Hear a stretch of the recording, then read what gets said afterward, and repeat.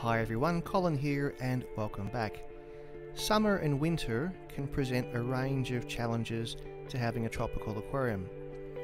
I keep cover glass lids on my tank which prevents fish from jumping out and it also prevents evaporation in the hot weather and it keeps the temperature in in the cold weather.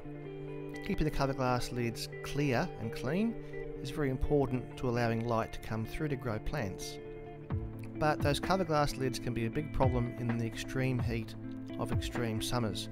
So in this situation in Australia we have very hot summers and I will actually leave some aquarium cover lids off to allow good gas exchange at the surface, let as much oxygen go into that warmer water as possible. So this cover glass lid comes off.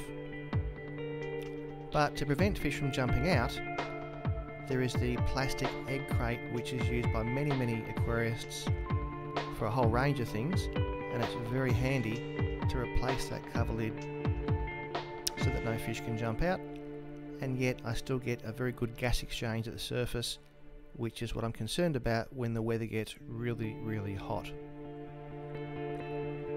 Two years ago I had a number of fish die and all of my plants die when we had 10 days in a row of over 40 degrees Celsius heat and the air conditioner in my dining room tripped out while I was at work.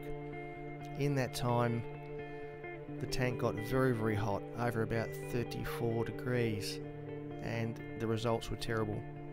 So having the cover lids off the tank in the hot weather is one of the small things you can do which allows your fish to survive the heat.